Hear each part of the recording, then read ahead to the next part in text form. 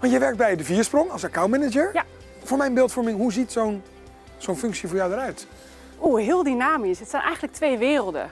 Ehm, waarbij je aan de ene kant werkt met financiers. De- Vanuit de Viersprong zijn er contracten met eh, zorgverzekeraars, met gemeentes. Maar ook de andere wereld waarbij we hier binnen Viersprong als hoogspecialistische GGZ-aanbieder... Ja, echt praten over problemen en behandelingen. En die twee werelden bij elkaar brengen, dat is echt eh, ja, superleuk om te doen. Ja, dat begrijp ik. En misschien een beetje een gekke vraag, maar kun je als accountmanager in het bedrijfsleven nou niet veel meer verdienen? Ja, leuk. Eh, ja, kan ik zeker wel. Maar ja, ik werk niet voor het geld. Ik eh, ben zelf ooit begonnen als eh, hulpverlener in de jeugdzorg. Ja, en sinds 2015 is de financiering veranderd, wat gewoon heel veel verandering betekent in de zorg. En ik wilde daar invloed op uitoefenen. Ik wilde ervoor zorgen dat de, de, de, zorg zo goed mogelijk ingekocht wordt, maar de medewerkers ook zo goed mogelijk hun werk kunnen blijven doen. Ja, en daar invloed op uit kunnen oefenen en, en daar de winsten uit halen. Al is het maar één cliënt, dat is al, ja, dat is voldoende, zeg maar.